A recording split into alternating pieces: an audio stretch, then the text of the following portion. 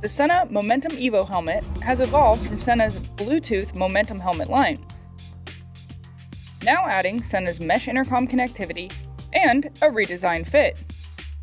The Momentum Evo allows for one click to connect with Sena's mesh intercom, four way Bluetooth intercom, and device connectivity. So, how does it work?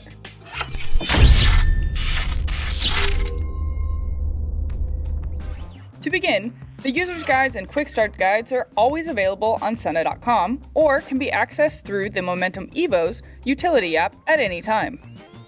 For those familiar with Sena products, the Momentum Evo will operate very similar to the Sena 30K headset, allowing for mesh communication and Bluetooth intercom at the same time.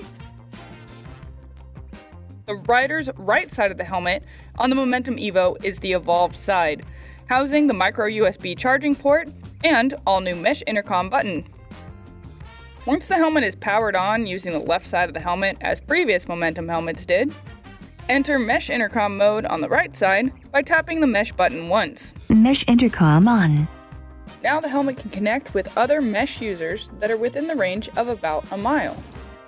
This means other Sena Momentum Evo users, 30K users, or even Sena Bluetooth users using the Plus Mesh adapter can connect in an instant.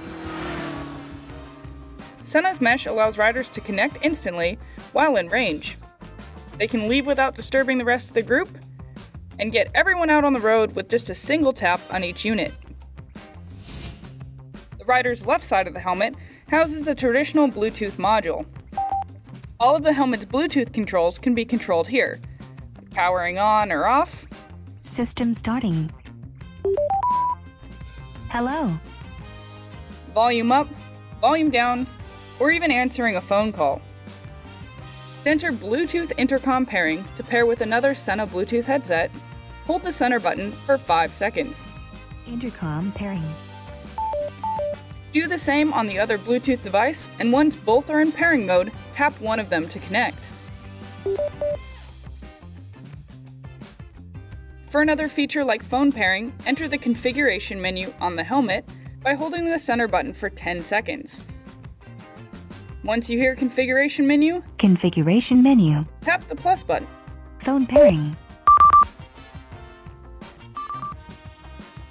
Phone connected.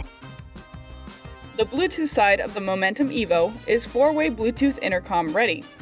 The helmet can also connect with two media devices like your phone or GPS. So, what about using Bluetooth and mesh at the same time? As an example, if the Momentum Evo helmet is riding with another Bluetooth user, the Momentum Evo can pair using Bluetooth intercom to the other Bluetooth device. Once paired using Bluetooth, Momentum Evo can tap the mesh button to join an open mesh. Mesh intercom on. As the helmet is already connected to the Bluetooth user, that user will be brought into the mesh as well using the Momentum Evo's internal bridge. The Bluetooth user basically piggybacks off of the Momentum Evo to join the mesh intercom group.